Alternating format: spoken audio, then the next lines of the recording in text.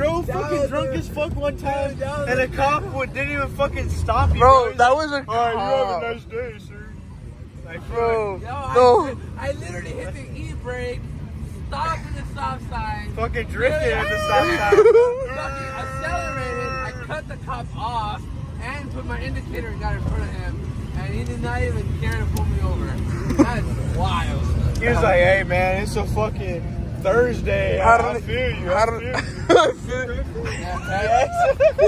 Oh, Guys, we got away by the skin on my teeth. bro, Harlinchazo, dude. Harlinchazo. Did you record all that? skirted. Did you record all that? Yes, I did. You did? Good, because you need to put that. That's our second video right Two out of three, boys. Yeah, two out of three. Mother Wait, what? Wait, what? He cut in front of that fucking cop. Bad, Fucking bro. skirted in front of that Well, I mean, motherfucker. I accelerated Moon and rock, used moon rock, indicator, moon rock up maybe here, he moon was rock like, you know here." what, this guy's doing it right. You know? I Dude, guess- dude, I think it might be my closed. indicator. Oh, it Oh, is. you It see, we came for nothing. nigga. We took that. Okay, we got a video out of Bro, it.